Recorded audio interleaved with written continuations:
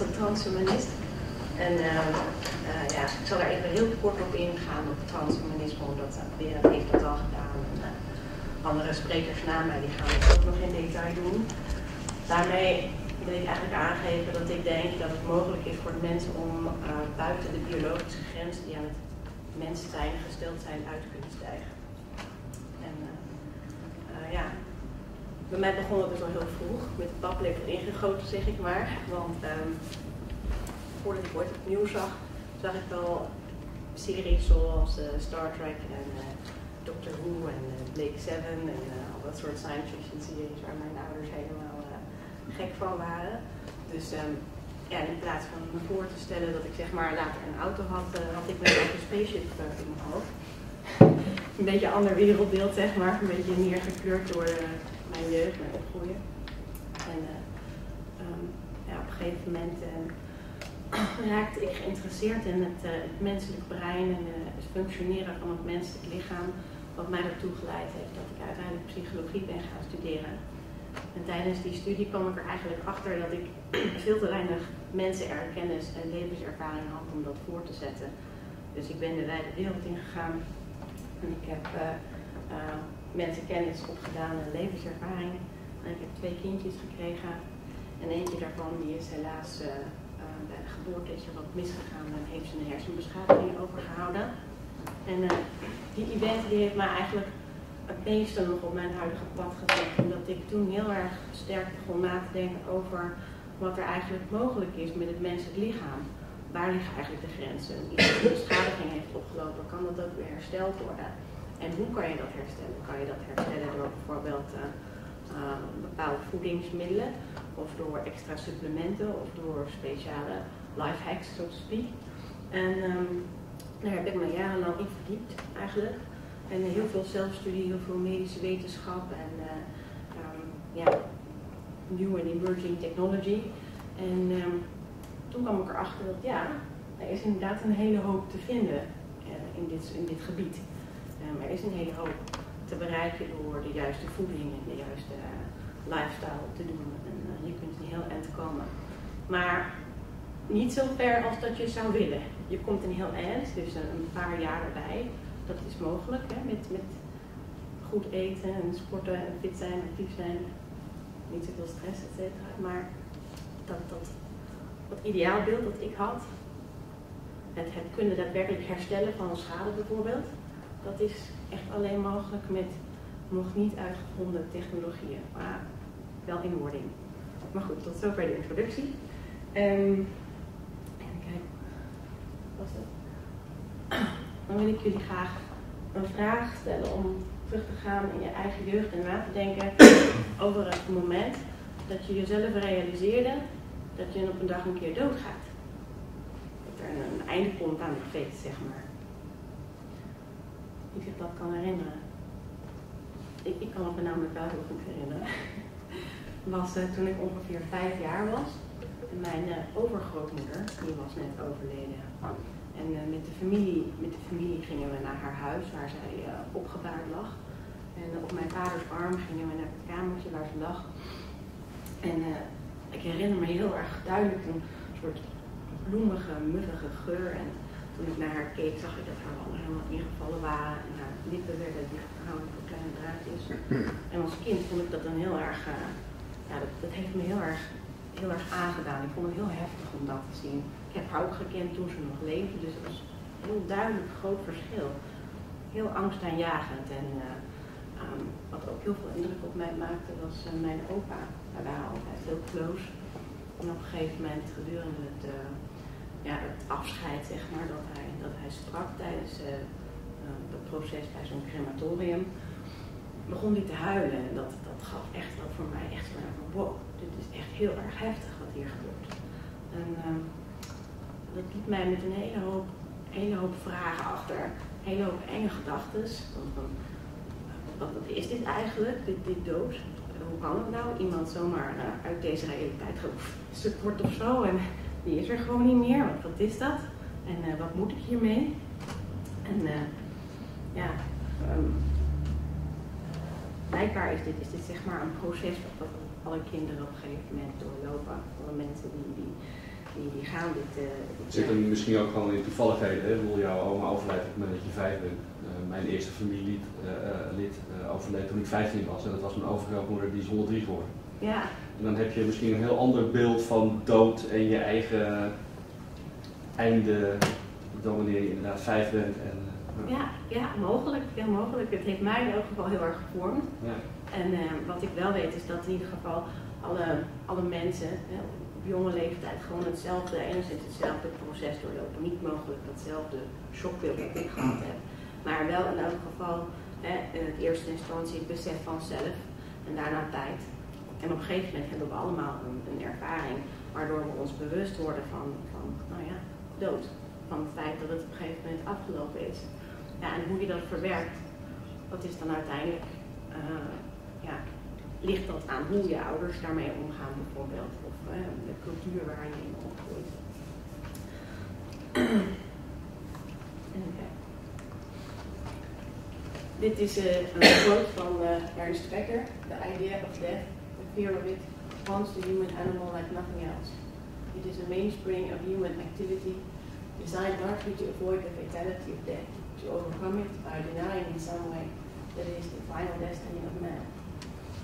Ik stel me zo voor dat de mensen van vroeger, de, de eerste mensen ooit een keer op een gegeven moment ook het besef hebben gekregen van hè, dat ze complex, konden genoeg, complex genoeg konden denken.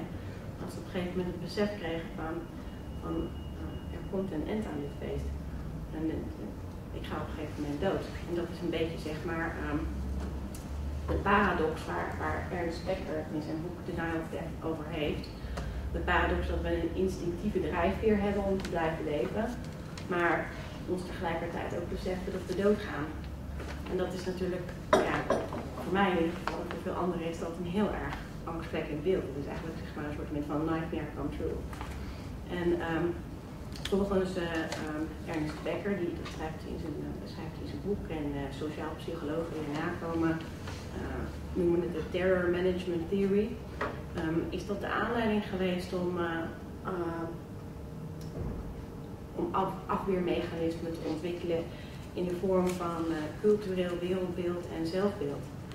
En um, wat ik daarmee bedoel, um, cultureel wereldbeeld, de, als je bijvoorbeeld niet, niet accepteert dat de dood betekent dat het een volledig end is, maar dat je gelooft in het, uh, de afterlife of in de reïncarnatie of iets dergelijks, dan is er niet een end. Cultureel wereldbeeld geeft eigenlijk een gevoel van veiligheid en een, in ieder geval een symbolische onsterfelijkheid. Direct dus zoals ik al net zei en indirect bijvoorbeeld door je maakt een deel uit van een groter geheel. En dus je bent niet alleen en je laat je voetdrukken achter door bijvoorbeeld um, nalatenschap of uh, kinderen. Hè? Want deel uitmaken van een groot geheel, want dat blijft altijd voortbestaan. En um, nou ja, dat is dus uh, Terror Management Theory. Linksom of rechtsom lijkt alsof we dus een uitweg zoeken. Hè, een manier om die paradox op de een of andere manier op te heffen. Dan wel dus door, door uh, het geloven in iets, uh, in iets wat niet eindig is. Dan wel door op een andere manier onze um, immortality, zeg maar, uh, ja, te verkrijgen. En um, ik had ook mijn eigen um, afweermechanisme ontwikkeld. En dat waren dus inderdaad, zoals ik al zei, mijn ouders. Ik ging naar hen toe en met al mijn vragen en enge gedachten. Want en ik vroeg hen van, van uh, wat, wat is dit nou eigenlijk? Wat, wat betekent dit nou precies allemaal? En um, zij zeiden van, uh, hoe gaan jullie daarmee om? Dat was ook een belangrijke vraag voor mij. En zij zeiden van, uh, ja, dood gaan we allemaal. Dat is onoverkomelijk, daar kunnen we niks aan doen. En ja, je vindt het nu misschien nog heel erg spannend, maar uiteindelijk groei je erin. Je gaat doorloopt een proces van acceptatie. En naarmate je ouder wordt, wordt het acceptabeler dat je uiteindelijk een keer doodgaat. En um, dat, dat, dat, heb ik zelf nooit zo ervaren verder, maar um, die acceptatie. maar goed, op dat, dat, moment hield ik me vast aan de gedachte van oké, mijn ouders zeiden van je bent nog heel jong, hè? Het, je hoeft er nog lang niet over na te denken, dat soort dingen. Het is allemaal moeilijk, dat komt later. Ja, in eerste instantie hield ik me daar vast. Ik heb nog tijd. en uh, op een gegeven moment zag ik een keer een, een, een begrafenis van een jong meisje op televisie. En toen dacht ik, nou, tijd, dat is twijfelachtig. En toen begon ik zeg maar mijn afweermechanisme te verleggen naar, naar de hoop dat iemand ooit een keer misschien een pil uit zou vinden of zo dat mij dit vreselijke lot zou besparen. En toen ik nog veel ouder werd, bedacht ik dat het misschien niet een goed idee was om alleen maar te wachten, maar ook actief iets aan proberen te doen. Want uh, ja, ik zag die pil nog niet zo verschijnen. En nou ja, zo kwam alles mooi samen. En ben ik nu dus een, voedingsdeskundige, ook in mijn werk. En, daar, dat is het, het stukje wat ik zelf kan pakken. En um,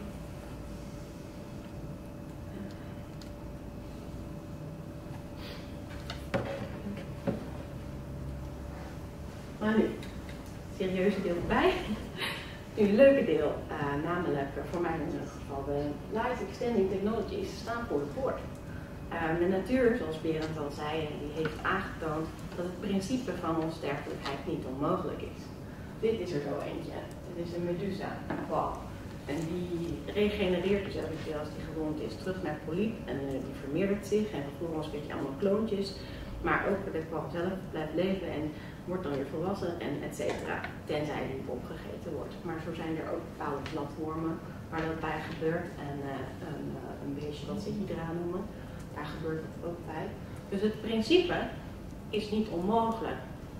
En nu met de enorme technologische vooruitgang die we boeken en de medische uh, wetenschappelijke ontdekkingen van allerlei uh, dingetjes. Laatst was er nog weer een artikel over metformine. Dat is een drug die wordt voor mensen die diabetes hebben. En die schijnt toch een hele hoop levensverlengende kwaliteiten te hebben.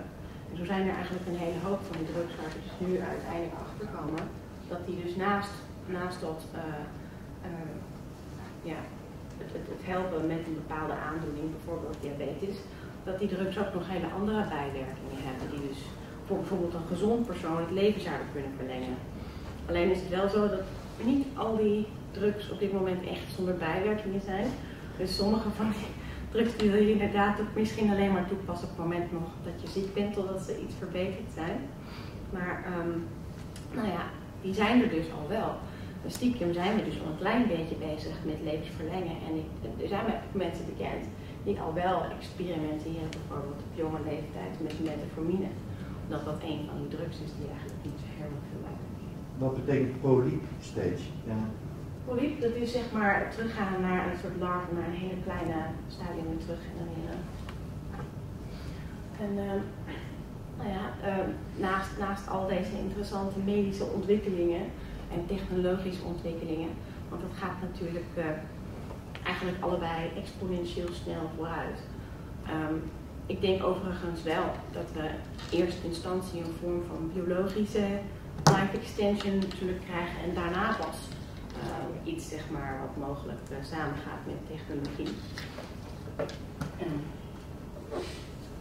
We hebben ook een hele hoop grote, grote bedrijven die op dit moment uh, allemaal investeren in longevity, zoals bijvoorbeeld Google.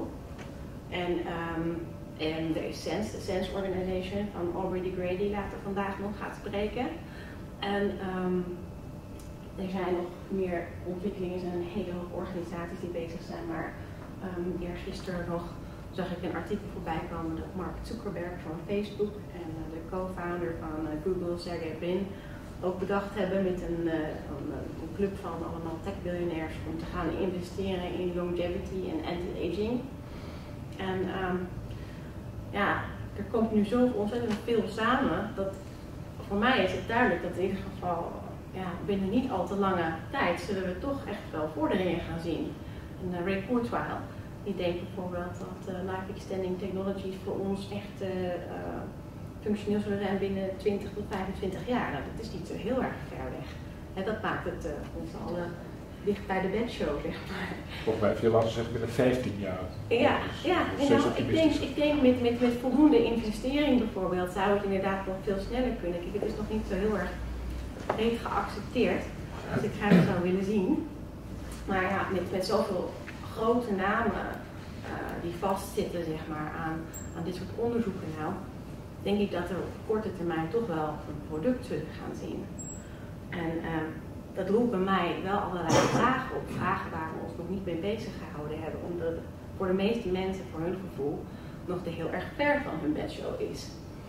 En ehm, daar maak ik me een beetje zorgen over, omdat er toch, denk ik, ehm, een hele hoop ethische en morele vraagstukken zijn die we mogelijk al wel overdacht willen hebben, dan wel beantwoord willen hebben voordat die eh, er daadwerkelijk zijn. Zal ik voor duidelijk zeggen, daaronder staat, you must submit to Google. Voor mensen die niet kunnen lezen. Dat is namelijk een van de concerns die ik heb. Ik zeg, als er zoveel, als er zoveel ehm, mensen en skills en geld geïnvesteerd wordt in deze technologieën, dan staat het voor mij als een pijl boven water dat er een product komt. Kun je zeggen wat Calico is?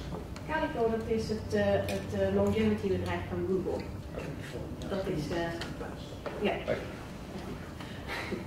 en ehm,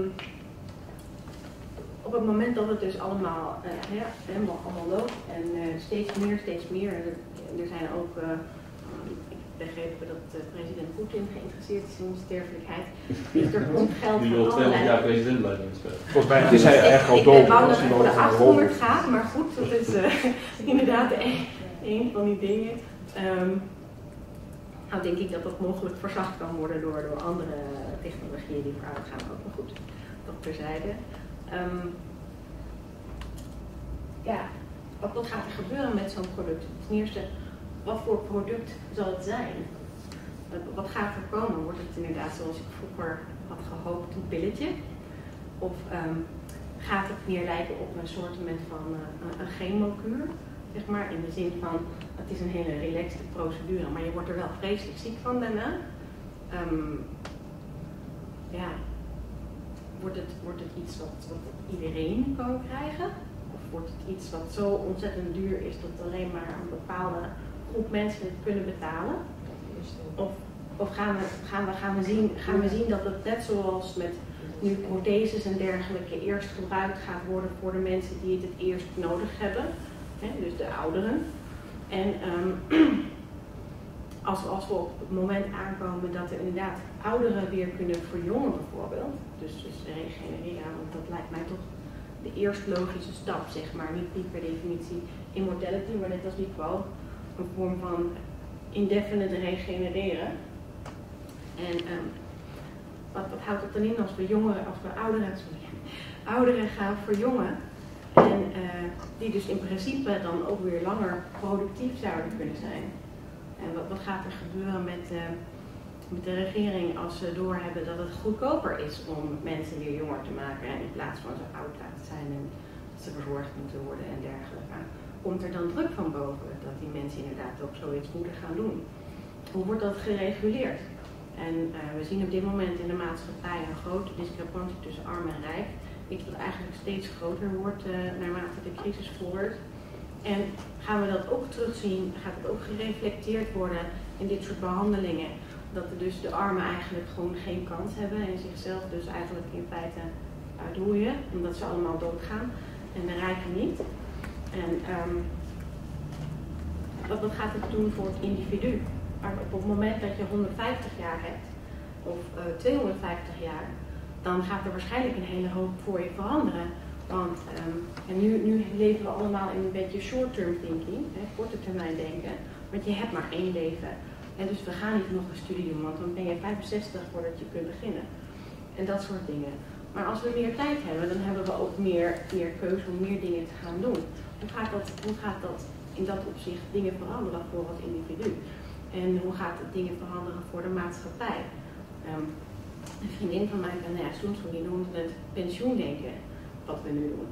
En we, we, we werken allemaal naar een bepaald punt toe waar we nog even een paar jaar kunnen genieten en dan is het afgelopen. En daar is eigenlijk onze hele maatschappij op gebaseerd. Dus ik zou graag willen zien dat we naar een soort van blue sky thinking gaan. Een soort van uh, verder denken en langer termijn denken. Want zoals ik al zei, een aantal van deze technologieën die, die hebben we nu al, die zijn al onder ons. En die andere die komen er met een sneltreinvaart aan. En voordat we straks in een situatie komen waarin er vreemde dingen gaan gebeuren, is het mogelijk een goede zaak om, uh, om alvast wat, uh, nu wat verder te gaan denken. Wat meer toekomstoriënteerd en dan niet in de zin van 80 jaar, maar meer van wat als we 150 jaar zouden leven. Of 250. Maar eigenlijk zitten we toch al, al uh, eeuwen in die flow. 500 jaar geleden werd uh, de gemiddelde wereldburger 30, 35 jaar oud. Nou, Ja. toen was de levensverlenging aan de onderkant, hè. nu zit het aan de... Nee, Worden mensen steeds oude ouder? gezonde mensen, door in het oude Griekenland werden mensen ook al 80, alleen heel veel baby's gingen dood. En dan zeggen Ja. we, gemiddeld werden mensen 22. Dat is, Maar alles wat we tot nu toe gedaan hebben, is dat er mensen, dat er een hoger percentage bereiken hun zeg maar, maximale biologische leven. Maar een echte levensverlenging in de zin van het overtreffen van de biologische norm, die dus al 10.000 jaar minstens bestaat, hebben we tot nu toe nog niks gedaan. Dat, dat je in de statistiek kan aantonen. Behalve dat er steeds meer mensen wel die oudere leeftijd bereiken. Ja, dus Dat we is hebben, echt een we grote hebben antibiotica en we Ja. hebben schone Ja. drinkwatervoorziening en dat scheelt Ja. maar wel. maar Ja. levensverlengend is dat natuurlijk niet. Nee, nee, nee, absoluut. Het is dus niet doodgaan aan 140 wordt ziektes. Ja. Amanda, Ja. klopt het dat wat Arjen net zegt? Want ik ben het met hem eens, maar volgens mij is dat wel controversiële eh, informatie, omdat ik in de mainstream nieuwsbronnen en informatiebronnen wordt wel gezegd dat we nu verder zijn met maximum leeftijd dan vroeger. Als je maar- goed leest, niet. Nou, ik ben met, eh, Arjen Arjen ook wel eens. Want we hebben het over de evolutie van de mens, maar dat is een proces van tigduizenden jaren. En ik geloof dat we evolutionair nog steeds niet veranderd zijn wat Evolutionair is er betreft, de afgelopen wat 100.000 betreft de, de levenslengte van een mens.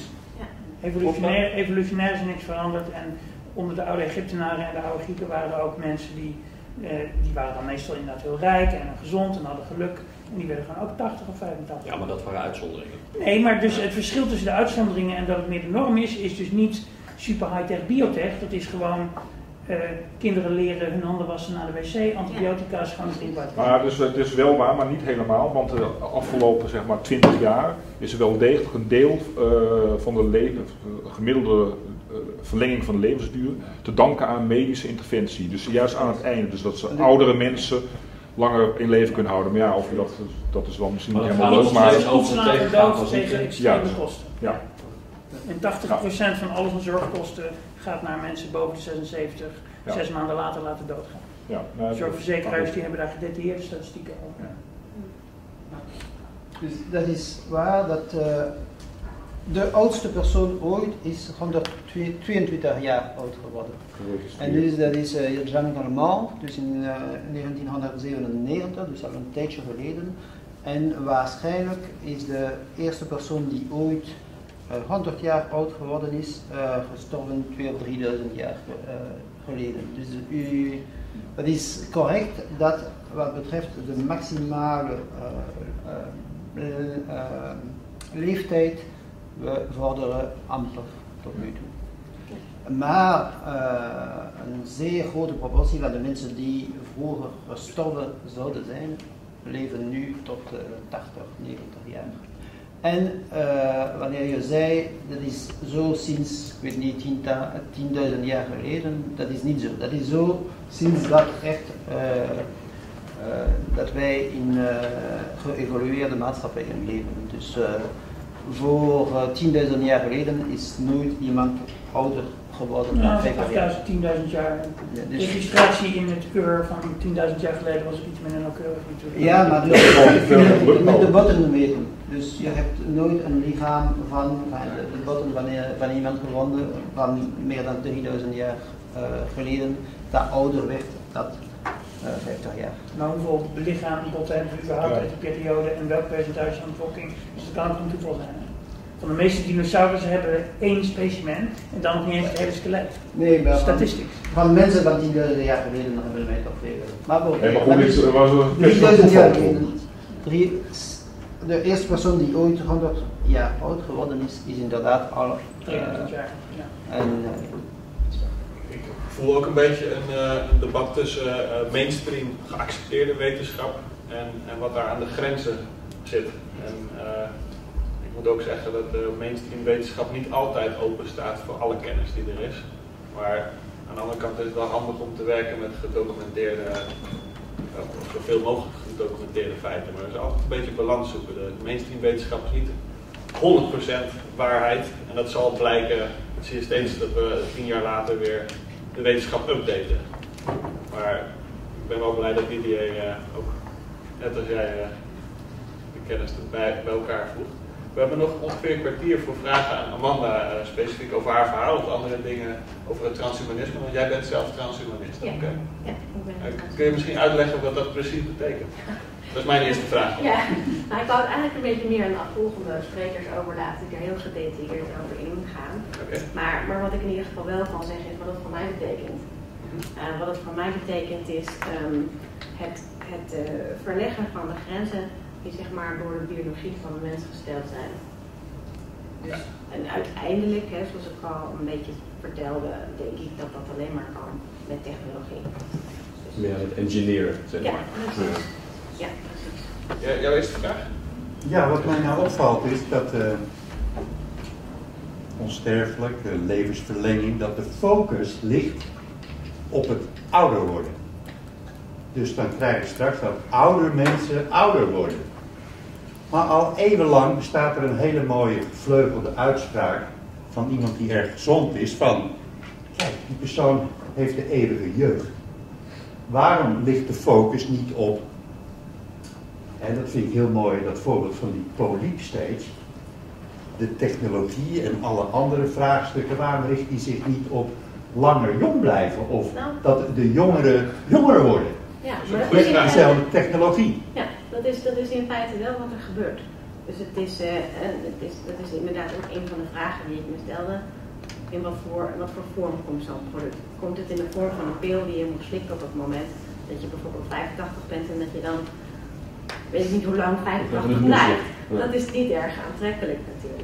Je hebt een hele mooie eh, mythe in de Griekse mythologie hè, van Tithonus, een Trojaanse prins die, eh, die van de goden geschenk eh, vroeger kreeg, eh, namelijk hij vroeg het eeuwige, of werd voor hem gevraagd het eeuwige leven. En Zeus gaf het. Maar vervolgens ging hij dus maar niet dood, maar werd hij langzaam steeds ouder en ouder en ouder en ouder en ouder en wakkeriger, maar hij ging maar niet dood. Toen realiseerde hij zich te laat dat hij eigenlijk om de eeuwige jeugd had moeten vragen. Ja, precies. En in feite kun je de, de, de staat van de, van de geneeskunde, nu noem ik altijd eh, het, het, de staat van Tithonus. Ja. Tithonus uh, geneeskunde is het eigenlijk. Dus het, uh, het verlengen van de ouderdom. Is dat Ja, het natuurlijk verschil tussen geriatrie en gerontologie? Ja, ja. ja. En als je kijkt naar eh, hoe de stichting van Aubrey de Grey heet, dat is Sense Foundation, dat staat voor Strategies for Engineered Negligible Senescence. Ja. Wat inhoudt eh, dat je streeft naar negeerbare veroudering. Ja. Dus eigenlijk ook die eeuwige jeugd weer. Ja. Klopt, Ja. ja, het anti-verouderen. Dat is inderdaad eh, ook eigenlijk waar ik het over heb. Want ja, van 95 en eh, ik heb, ik heb een buurvrouw toevallig van 95. Ik woon onder een twee van één kap en ik sta tegenwoordig eh, bijna elke dag bij haar in de woonkamer. Omdat ze dus eh, niet meer kan lopen. Ze staat helemaal krom en eh, ze is eigenlijk de weg kwijt. Ze is constant, daar is mijn huis. En om heel eerlijk te zijn, wou zij het liefst morgen wel dood neervallen. Heeft het helemaal gehad.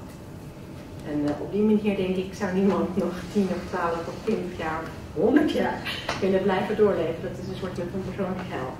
Ja, ook die pil eh, moet maar weer eens eh, geïntroduceerd worden. Ja, Opion. Ja. precies. Heeft iemand anders een vraag aan Amanda? Maar we hebben nog een tekst. Wat was jouw grootste ontdekking, verrassing eh, Met, in, in, in, in, in- in het onderzoek naar van alles en nog wat, wat er mogelijk is? Ehm, gewoon, gewoon zeg maar binnen wat er nu mogelijk is of wat er gaat gebeuren. Nou. Nu? Ehm, nou, binnen wat er nu mogelijk is, is dat er eigenlijk al bijzonder veel mogelijk is met eh, de kennis die we nu van het lichaam hebben. Om dat zeg maar te hacken als het ware. Om tot het uiterste te gaan van jezelf en daar heel erg gezond bij te blijven. En dus in feite ook een stukje regenereren. Want er zijn, er zijn onderzoeken bekend die aangeven dat je dus al wel meer uh, ziektes uh, kunt terugdringen, stoppen en er kunt voor zorgen dat die niet meer terugkomen. Ik heb daar een heel interessant gesprek over gehad met professor Ellen Kampman, van voeding en kanker in Wageningen. En die, die, is van dezelfde mening, dat je dus inderdaad door voeding en lifestyle... Wie is dat, sorry, kunnen herhalen? Ellen Kampman heet ze. Ja. Van, dat, is de, dat is de professor van Wageningen van voeding en kanker. En uh, die, die geeft aan inderdaad dat je door, door de juiste lifestyle, vooral met voeding, echt enorm veel kunt bereiken. Maar dan hebben we het inderdaad wel over gezond 85 worden. En niet per definitie ja, langer, langer jeugdig blijven. Maar op een gegeven moment komt het verouderingsproces er toch wel doorheen. Want dat is eigenlijk, ja, gedurende het leven loop je nou eenmaal gewoon steeds een klein beetje schade op. op een gegeven moment is dat te veel voor je lichaam om mee om te gaan. En dat, dat ja, op de een of andere manier ontpopt dat zich in een of andere aandoening waar we uiteindelijk toch een macht op gaan. One way or another. Nou, het zit ecologisch, op goede ecologische reden in ons geprogrammeerd dat op een gegeven moment een oude generatie met oude genen en ideeën opzout uit het ecosysteem. Dat is, dat Door dood te gaan en ruimte maakt voor nieuwe generaties die nieuwe genen en misschien ook af en toe nieuwe ideeën hebben. Uh, ik denk dus dat dat voor, voor, voor de evolutie is het heel goed als je een snelle cycle hebt, zeg maar. Dat, dat, dat geldt in ieder geval voor het kleine spul, maar, maar wij kunnen ook op andere manier dingen doen. Ja, precies. Ja. Dat is eigenlijk, eigenlijk een hele onlogische gedachte die je nu uit. Dat is eigenlijk een hele onlogische gedachte die je nu uit. Want uh, volgens mij is de, het, het, de, de levensduur in het doodgaan een functie van uh, min of meer toeval. Dus een, een diersoort dat in een normale ecologisch systeem bijvoorbeeld tien jaar gemiddeld zou kunnen leven, die wordt gepakt door een prooi. Die, waarom zou de natuur er meer in gaan investeren om zo'n beest 20 of 30 jaar te laten leven. Ja, dat doet je natuurlijk zo. Maar, maar, maar, dat, maar ook al zouden wij het eeuwige leven hebben, zolang je aanwas hebt aan de onderkant, blijf je natuurlijk uh, nieuwe, nieuwe uh, evolutionaire kansen hebben. Ja, als politici 300 jaar blijven zitten, dan denk ik dat we hele dingen heel erg gaan vertragen. Maar ik, ik zeg dus niks over... Nee, maar het gaat om dat het een onlogische gedachte is over evolutie. Ik zeg dus niks over menselijkheid. Hè. Ik Nee, zeg nee, gewoon, nee, nee. de natuur heeft het menselijk lichaam ontworpen om lang genoeg te functioneren om die kinderen wat trucjes te leren en daarna is de Ja, maar dat is dus een verkeerde gedachte. Dat is niet zo. Er is dus de, de natuur heeft een levensduur ontwikkeld uh, die uh, gepast is bij de betreffende diersoort. Een muis heeft, uh, als die vrij rondloopt in de natuur, zal nooit doodgaan aan ouder, ouderdom, want die wordt gewoon een keer opgevreten door een kat of een vogel of zoiets. Dus waarom zou de natuur meer gaan investeren om zo'n muizen tien jaar te laten leven? En dat is het. Dus het heeft niet, nee, niet te maken met evolutionaire druk. Ja, maar dat doet de natuur dus ook niet. En mensen gingen van oudsher ook meestal niet dood aan ouderdom, maar aan uh, uh, tyfus, cholera, Ja. inderdaad. uh, een, Oorlogje. uh, oorlogje, uh, Ja. infectieziektes, uh, longontsteking, dat soort dingen. Ja. En de natuur is inderdaad, ja, na je veertigste, dan is het echt wel, ja, dan ben je echt wel biologisch gezien over de heel. Hè. Dan moet je je kinderen gemaakt hebben, hopelijk een beetje verstandig hebben opgevoed. En de rest ga je dan gewoon het momentum nog een tijdje door. Ja. En dankzij dingen als antibiotica kunnen we dat dan rekken tot 80 of 90. En, en, en, en de laatste tien jaar met heel veel extra kosten die statistisch gezien heel weinig doen. Ehm, maar, maar dat is, ja, ik denk dat het menselijk lichaam inderdaad ontworpen is voor een jaartje of 45. Ja, dat is, dat is niet helemaal zeker. Dat wisselen, de, de beginnen ze nu, begint te kantelen, dat beeld.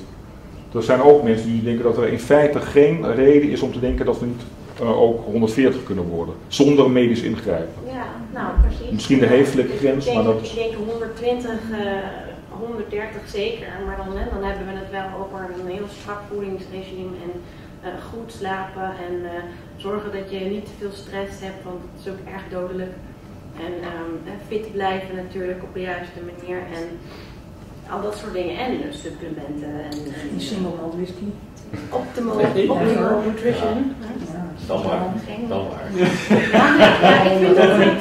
Betreft is dat. eh, Hey, maar wat is voor jou als, als diëtiste de top 3, eh, eh, eh, de tip 3 voor ons om onder eh, 10 jaar bij te blussen?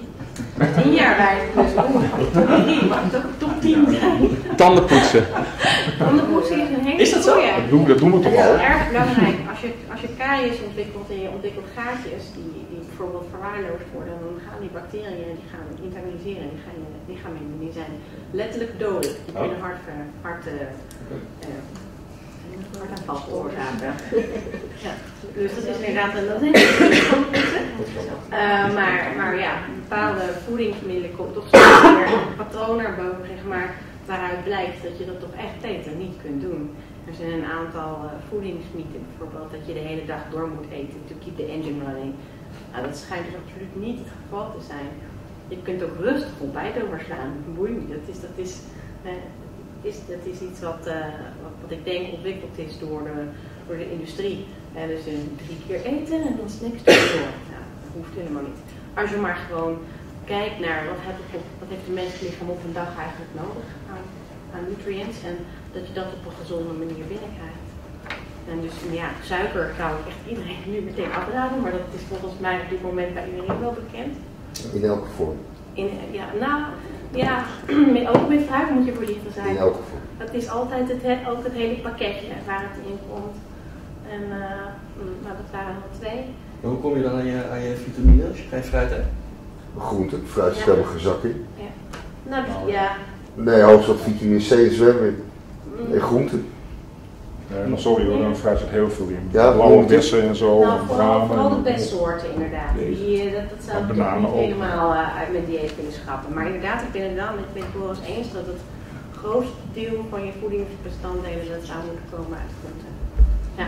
Maar ze zijn er toch ook helemaal niet zeker van of de suikers uit uh, uh, fruit wel dezelfde negatieve eigenschappen heeft als, als ongeveer zijn. Nou, het is, het is fructose, daar, daar kan ons lichaam per definitie gewoon heel erg slecht mee omgaan. Ja, het is nog slechter gewoon, dan gewoon zijn. Het is, als het nou in een heel pakketje komt van bijvoorbeeld uh, vitamine en uh, al dat soort dingen, zo'n mooi fruitpakketje, dan is het eigenlijk wel oké, okay, want tot op zekere hoogte, niet te veel, want je, die vezels nemen een hele hoop je lichaam hiermee uit. He, maar dat is bijvoorbeeld in uh, geraffineerde suiker niet het geval. Dat komt niet in een handig mooi pakketje, wat jouw lichaam ook nog eens een keer helpt om dat spul uh, eruit te gooien. Maar het punt is dat hier nog heel veel onzekerheid over is. Ja, het is allemaal toch heel erg theoretisch. Ja, maar toch als je, als je heel veel van die, van die onderzoeken gedaan hebt en gelezen hebt zoals ik dat dan heb gedaan, dan komt er toch steeds een, een, een, eenzelfde patroon naar boven eigenlijk. Van een paar dingen die gewoon waar lijken te zijn. Omdat ze steeds weer terugkomen met steeds meer veel uh, evidence-based, zeg maar. Want daar hou ik me ook aan vast, voornamelijk evidence-based. En die andere gedachten die laat ik gewoon theoretisch lekker even daar. En ik probeer er zelf wel wat mee door zelf te experimenteren. Dus zelf quantify, hoe ze dat dan mooi. Dus ik, ik ben, ja, ben, dat, dat kun je doen. Maar, uh, maar goed, dus tandenpoetsen, uh, uh, goed. Geen fruit eten? nee, dat zeg ik niet, veel te veel. Heel voorzichtig met, met suiker omgaan. Ja. niet de hele dag door eten. Maar, Zorg dat je slaap gereguleerd is. Dat is voor mij een heel groot probleem met mijn dochter. Die heeft een hersenbeschadiging. En die, die slaapt soms gewoon helemaal niet. Houden vanmiddag de siesta. En dan slaap ik ook niet. En dat is, dat is voor mijn gezondheid een heel groot issue. Ik heb nog een vraag aan jou, een persoonlijke vraag. Als het straks mogelijk wordt om je uh, mind te uploaden, zoals dat wordt genoemd, bijvoorbeeld over 20 jaar, uh, zou je dat willen? Wat is, mind, een, wat is mind uploaden? Wat uh, ja. dan? Nee, ja, er zijn verschillende, verschillende verhalen over. over zou je een mind clone willen hebben? Bijvoorbeeld? Een clone, een, een mask. Ja, ik denk eigenlijk wel, als backup. Jawel. Alhoewel ik er niet van overtuigd ben dat ik dan voort zou leven, zeg maar, als ik dood zou gaan. Mm -hmm. Maar um, ja, op de basis van you never know, uh, zou ik het als backup system best wel Een digitale kopie van jouw geest. Ja hoor. zou je wel graag willen hebben. Ja, ja. wel ja. Oké. Okay. Ja. Maar dat zijn dan wel instabiele werkelijkheidsillusies, hè? Wat? Instabiele werkelijkheidsillusies. we zijn daar nog niet, maar er zijn wel miljarden die daarheen gaan. Ik denk, ik denk dat we eerst biologische... Uh, nee, uh, in dollars zeg maar, of euro's. Omdat er oh, vrij slimme mensen er wel in geloven. Ja, ja er zijn genoeg voorbeelden van, van interessante mensen die erover nagedacht hebben. Is er een idee van uh, hoeveel uh, geld er nu gemoeid is bij onderzoek in dit hele gebied? Ik bedoel, er zijn allerlei bedrijven die hier nu meer op zitten. De, in Amerika heb je ook echt van die overheidsinstituten die. maar is er daar een soort beeld van in, hoe, hoe, in welke mate dat is toegenomen in de afgelopen 30 jaar, zeg maar? Ik denk dat het vanaf 1980 ongeveer langzaam echt eh, anti-aging research op gang is gekomen. Maar op heel erg wat je er allemaal wel niet bij Ja. Er is heel veel onderzoek wat natuurlijk gedaan wordt wat super relevant is, wat om andere redenen gedaan wordt. Ja. Biotechnologisch onderzoek door universiteiten of de farmaceutische industrie. Mensen op. eh, En alles wat daarin, ja, alles wat, kijk, de IT heeft het mogelijk gemaakt om het Human Genome Project te doen. Mhm. Maar toen dat IT-onderzoek werd gedaan, was niemand bezig met, oh laten we eens eh, gene mapping voor mensen eh, eh, in kosten reduceren tot 200 dollar. Ja. Weet je, dat was nooit het doel, of nooit, eh, dat is gewoon een prettig side effect. Ja. Dus dan heel erg vanaf wat je wel niet. Ja, ja. Maar goed, het, het- maar dat is dan mij, wat, een van de interessante dingen die ik denk is van de maatschappelijke accepta- acceptatie van het idee dat eh, we aan levensverlenging moeten doen. Dat moet zich dan uiteindelijk lijkt mij gaan vertalen in, we hebben het Green Gray ook zegt, van eh, in feite kunnen we binnen 20 jaar onsterfelijk zijn als we het met z'n allen zouden willen. Ja. Dat, dat roept dan de vraag op Vooral de focus, de focus inderdaad in het investeren.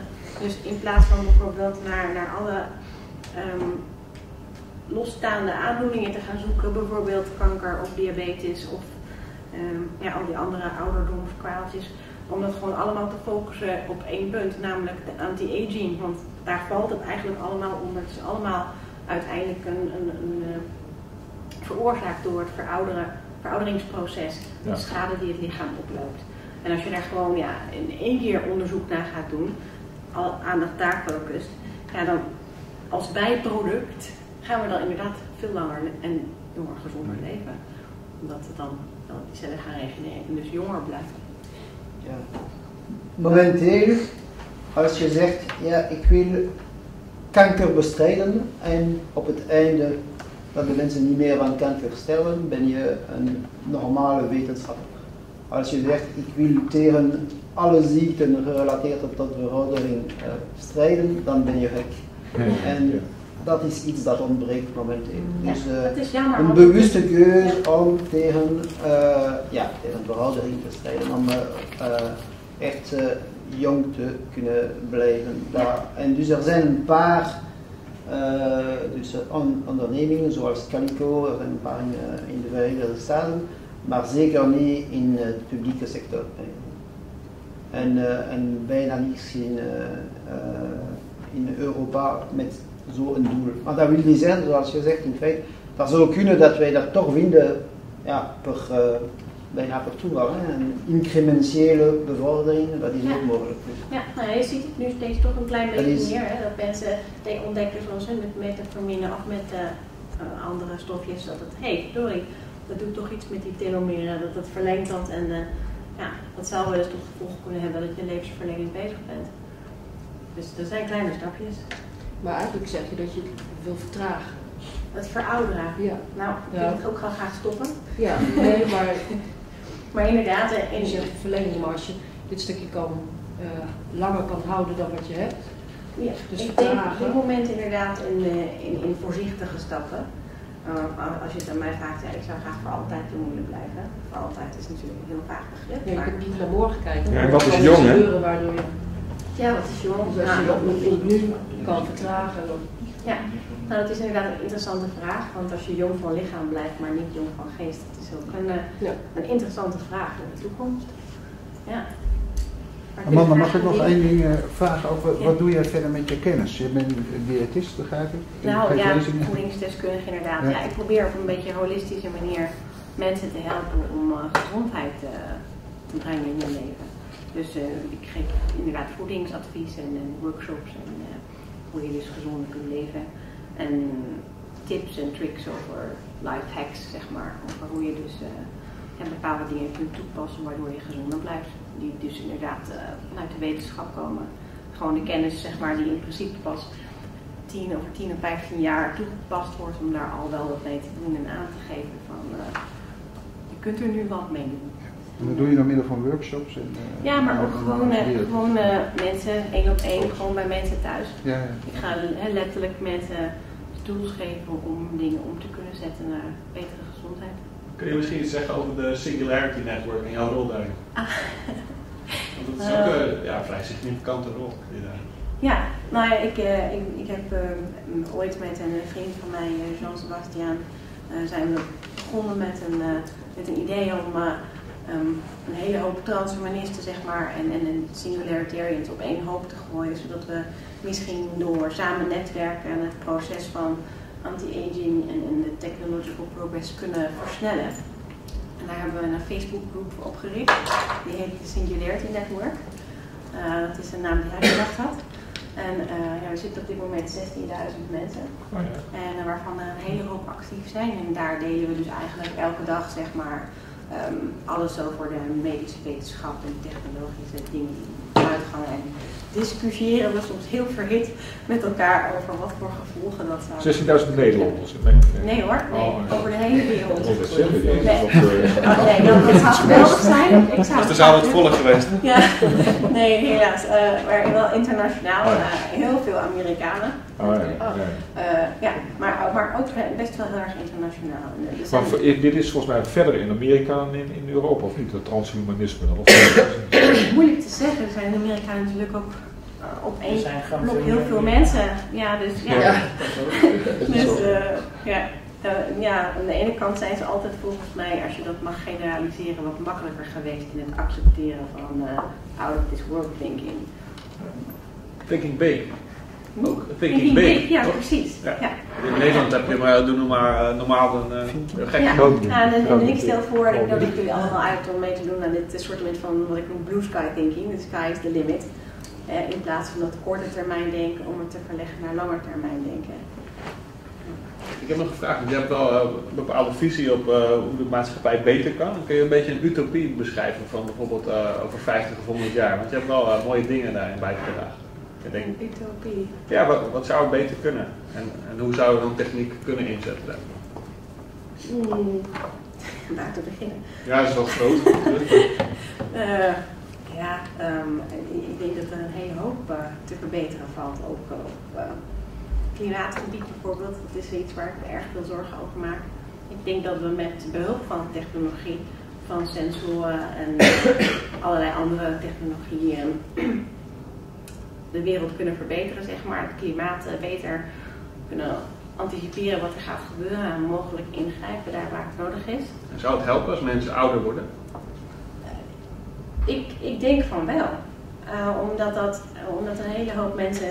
Kijk, als je nu doodgaat, als, als ik nu doodga, dan gaan al mijn projecten en al mijn ideeën en al mijn gevoelens hierover en al mijn kennis eigenlijk verloren. Ik heb wel wat PDF-files en een paar folders en zo, maar daar mag dan ook iemand helemaal doorheen gaan spitten en dat weer opnieuw ontdekken.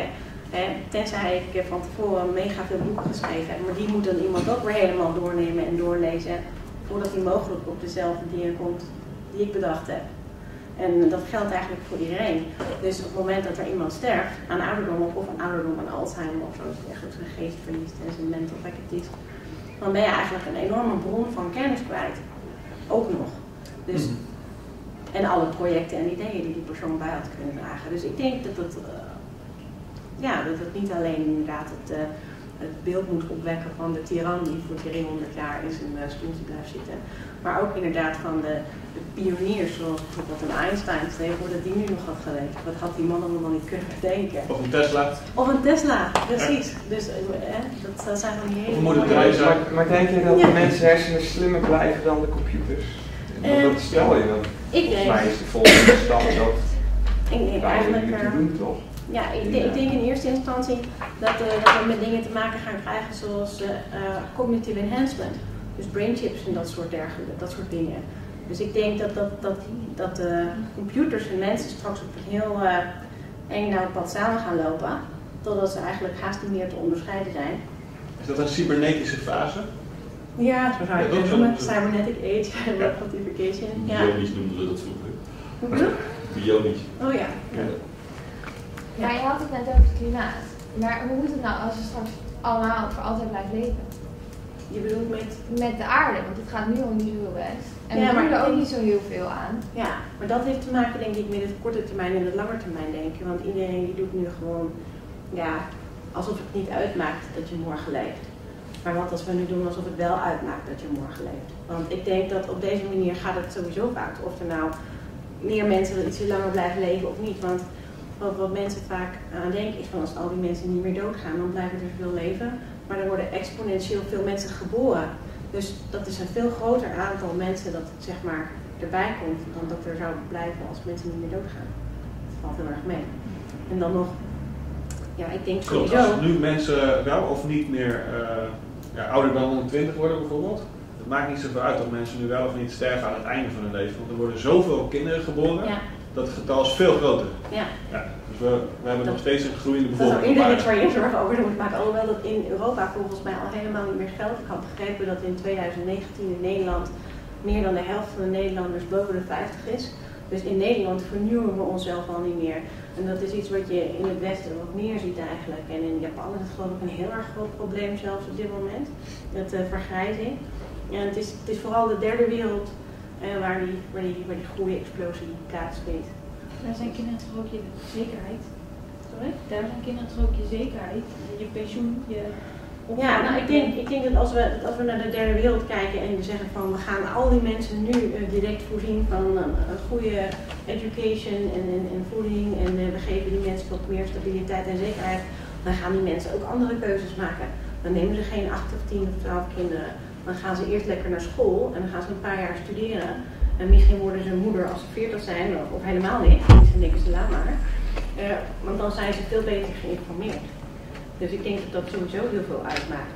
Als we op die manier naar Als vrouwen het recht hebben om af en toe nee te zeggen tegen een man, Dat dan is zie je het aan het sporters dat dondert in elkaar. Dat gaat dan Ja. van 8 per vrouw naar 2,1 per vrouw. Nee, dat is het. Ja. Alle, alle meisjes tot hun 14, ieder land in de wereld, in de geschiedenis, als meisjes tot hun 14 naar school gaan, dan zie je binnen 10 jaar daarna de geboortes donderen naar beneden. En dat is het allerbelangrijkste. Ik heb een paar slides over de- deze, eh, deze problematiek voor straks, maar nu al één zin. Dus dat zijn niet de eh, landen in de derde wereld waar er nu nog een probleem is van overbevolking of van zeer sterke groei. Dat zijn een paar landen en meer bepaald in, eh, Afri- in Afrika. Oké. Eh, dus bijvoorbeeld in Bangladesh is nu de fertiliteit voor eh, dus het aantal kinderen per vrouw 2,3 of 3, eh, 2,5 per vrouw. En dat was 7 eh, kinderen per vrouw amper 50 jaar geleden. Dus eh, dat is eh, de perceptie die wij hebben van overbevolkte landen waar de, eh, de bevolking zeer veel groeit, is niet meer correct voor, eh, de, voor bijna alle landen in de wereld, behalve Afrika. Het is bij ons in het En Westen ook heel snel En gegaan. nog, sorry? Het is bij ons in het Westen ook heel snel gegaan. Ja. Ik had- kinderen in de klas op wel, de lagere school, die wel. hadden negen kinderen thuis. Dat is ondenkbaar tegenwoordig. En nog wanneer, wanneer ik zeg Afrika, dat is in feite enkel eh, een deel van Afrika. Bij de Sahara in de buurt? Nee, Sub-Sahara? nee, dus eh, in deze land is eh, het aantal kinderen per vrouw overal minder dan drie. Maar wat ik begrijp, daar ga je straks nog, eh, daar heb ik een paar slides van. Dus ik, we, rond, we gaan afronden. Ik heb nog één vraag. Ray Kurzweil, die eh, slikt 150 pillen per dag, heb ik begrepen. Hoeveel jij? Eh, nou, niet zoveel, Oh. maar wel een aantal Ja? inderdaad. Ik denk ja, wel een stuk of 8, 9. 8, 9. En wat zijn dat dan voor pillen? Eh, nou, dat is onder andere vitamine D3. Eh, dat kan ik in principe iedereen aanraden, want daar hebben we allemaal een groot tekort aan. En eh, ik neem jodium. In mijn, in mijn huidige dieet komt het heel weinig voor, dus ik neem dat erbij. En ehm, dat is ehm, ehm, selenium, een vorm, een, een, een mineraal, ijzervorm. En kijken wat nog meer. Ik neem een probiotica. Eh, En, hoe heb je het samengesteld? Eh, je hebt gekeken naar je voedingspatroon. Ja. Dat mis je en dat eh Nou, ik heb bij. gekeken inderdaad van wat zit er dus in bepaalde, in bepaalde voedingsmiddelen en wat is er, wat heb je ongeveer zeg maar, ja, volgens de wetenschap dan zeg maar nodig. Ik denk dat dat per persoon ook nog wel een klein beetje varieert. Op een gegeven moment moet je dat uittesten en kijken waar jij je goed bij voelt en waar je bloedwaarden en dergelijke goed bij blijven. Dus ehm, ja, op die manier, dat heb ik ook mijn moeder geadviseerd, die zie ik in het ook allemaal, mijn ouders. Mijn moeder heeft diabetes, die is inmiddels van de medicijnen af. Dus dat gaat heel goed. Je hebt diabetes en door deze supplementen. Supplementen en, en, en de andere manier van eten heeft ze het gewoon helemaal niet meer nodig. Maar geen hang naar meer vooruitstrevende zaken dus. Sorry? Omdat je, je hebt een hang naar eh, levensverlenging. Ja. Maar je hebt geen hang naar meer vooruitstrevende zaken dan, laten we zeggen, de, meer, de reguliere dingen die je nu. Jawel. Maar die gebruik je niet. Nou, ehm, ja, veel, ja, dat hangt ervan af wat je precies bedoelt. Nou, bijvoorbeeld uh, telomeren, telomerase activators, uh, dat soort zaken. Ja, nou, ik moet eerlijk, ik moet eerlijk toegeven, ik ben wat aan de voorzichtige kant. Uh, vooral ook omdat ik een alleenstaande mama ben. Mhm. Dus ik experimenteer tot op een zeker risicovlak. Want ja, ik ben ook verantwoordelijk voor twee uh, muppets, waarvan één dus hersenbeschadigd is. En uh, dus mijn, mijn experimentele zaken, die, die, die grenzen toch aan het uh, nog best wel heel erg. Maar je zou bijvoorbeeld een resveratrol kunnen pakken dan? Ja, um, waarheid niet dat ik dacht dat er mogelijk iets is wat beter werkt. Jij gaat daar alles meer over vertellen. Kom maar op. Ja, ik, ben, nou, ik ben erg nieuwsgierig omdat je echt de conventionele dingen opnoemt. En uh, dat verbaast me een beetje. Ja, nee, ik ben, niet, ben niet heel ernstig aan het overklokken, zeg maar. Nog. En uh, ik, uh, ik ben me daar nu pas echt heel erg aan het inverdiepen. Omdat ik zeg maar eerst ben gaan kijken naar de stappen die ik dus kon zetten. Die mij ook daadwerkelijk, zeg maar, bijvoorbeeld um, als een zelfstandige kunnen laten functioneren. Want je, je snapt wel dat met een dochter met een hersenbeschadiging heb ik niet altijd evenveel tijd. En als alleenstaande moeder al helemaal niet. Dus ik moest dat allemaal mooi passen en meten. Dat je gelooft wel aan je calorierestrictie, toch? Ik wel, ja. Hongerdieet. Daar ben ik ook uh, inderdaad mee. Ja, er zijn verschillende variaties en zo. Daar kan ik helemaal over praten. Misschien de volgende. Ja, in ieder geval, jij laat dit een start zijn, hè? Het is ja. een, uh, ja, ja ik, ik ben daar nog niet. Inventarisatie. Uh, ja. En we kunnen met dit soort kennis ook allemaal delen via de websites. En, ja. ik wil je hartelijk danken. En we gaan door naar de volgende spreker. Die, ja, Arjen Dank dus. Ja.